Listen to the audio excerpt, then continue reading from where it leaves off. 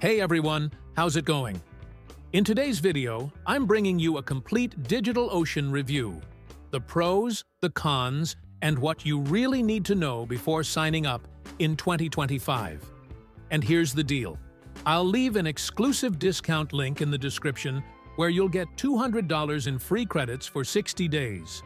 Plus, you can earn even more through their referral program.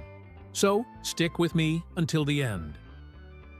DigitalOcean is one of the biggest cloud hosting platforms in the world, widely used by developers and startups.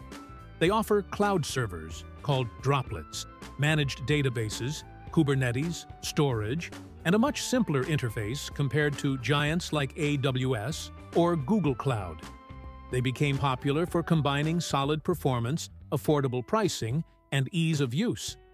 Some of the main advantages include a clean and simple interface, perfect for those who don't want to get lost in complex dashboards. Pricing is predictable, starting at just 4 to $5 per month with no hidden surprises. They also have a massive developer community with thousands of free tutorials, which is super helpful. Performance is strong too, with solid uptime and speed for most projects. And of course, you can start with $200 free credit using the link in the description. But here's what nobody tells you. DigitalOcean is not for everyone. If you're a complete beginner, it can feel a bit technical at first, since setup requires some basic knowledge, and priority support is an extra cost. If that sounds like you, I actually recommend starting with Hostinger instead. It's beginner-friendly, comes with an AI website builder, one-click WordPress install, and 24-7 support in multiple languages. And the best part? I'll also leave a 20% off Hostinger link down below. So here's the simple rule.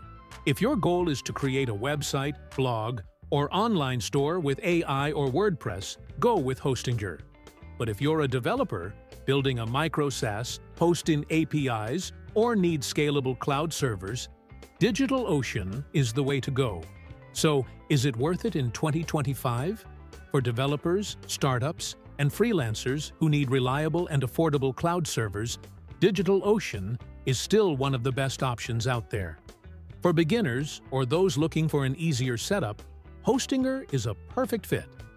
And like I said at the beginning, you'll find both discount links in the description. DigitalOcean, $200 free credits for 60 days. Hostinger, 20% off your first plan. Go check them out, give them a try, and let me know in the comments which platform makes more sense for your project. Thanks for watching, and I'll see you in the next video.